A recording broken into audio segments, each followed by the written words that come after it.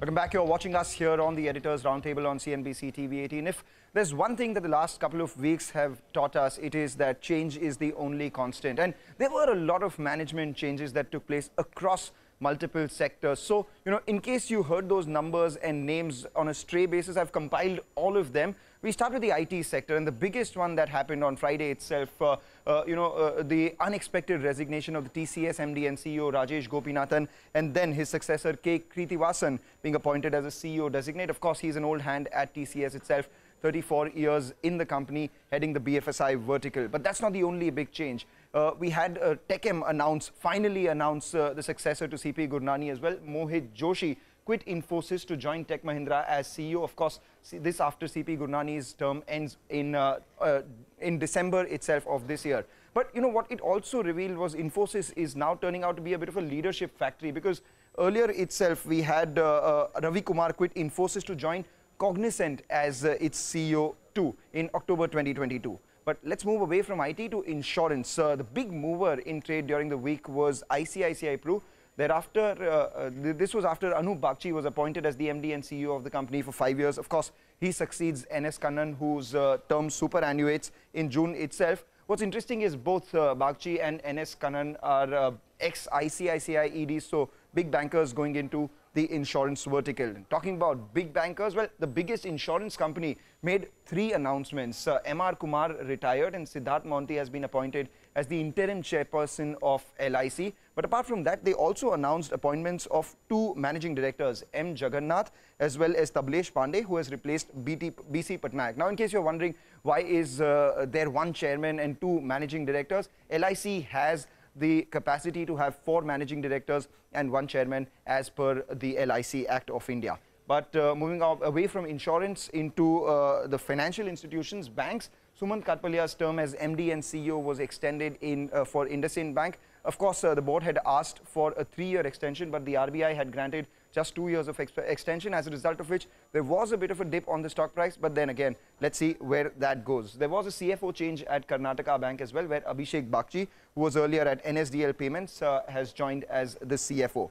And the biggest one coming in from HUL, the FMCG sector, it was, uh, you know, finally clear that Rohit Jawa will be leading the company, and this after Sanjeev Mehta hangs his boots after being at the helm of uh, the consumer major for 10 years in a row. And that also proves uh, HUL's leadership factory once again, because we had Prabha Narasimhan join Colgate from HUL uh, way back in April 2022, and a year before that, Sudhir Sitapati joined Godrej Consumer from HUL as well. But appointments weren't the only ones. We had a couple of resignations too.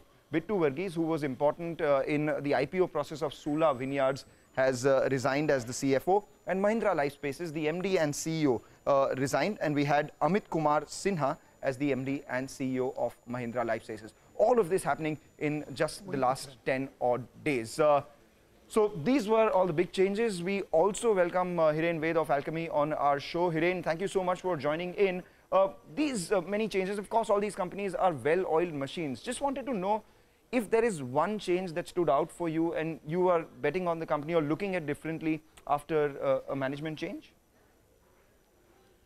Well, I think, you know, in the case of uh, TCS and HUL, I think it should be business as usual, right? I mean, these companies have a very, very strong bench of managerial talent. These are large companies, well oiled machines and therefore there should be no disruption and there should be a reasonable amount of uh, continuation, right? I think usually what is exciting is that if a company, for whatever reason, has not been doing so great within the sector, and you do get a new leadership, I think that there is, uh, uh you know, there is a a, a point to be considered that things could significantly change in terms of strategy, in terms of performance, and so on and so forth. So if you put that perspective, then I think the two most notable ones that I would suggest is one is iPru, where uh, you know uh, Anup Bagchi has taken over as the CEO. Uh, you know he has had a superb track record uh, uh, in ICICI Bank. And I do believe that uh, you know, that he will certainly be able to make uh, significant changes in the trajectory of growth for iPru. Uh, obviously, the entire insurance industry is entering some kind of a regulatory headwind with uh, the cap on uh, the tax benefits uh, for large policies. but given his retail experience, I think that there is a reasonable probability that he should be able to bring iPru into top gear. And the second name would be Tech Mahindra, where I think that they have great capabilities, but both from a margin and growth perspective, I think that there is a clear uh, possibility that uh, things could change for the better. And I think the markets recognize that pretty quickly when these two changes were made. Uh, the stocks rallied. Uh, and usually our experience has been that, uh, you know, there is usually a honeymoon for a year because investors give them a benefit of doubt. There is a hope. There is a certain option value that is built.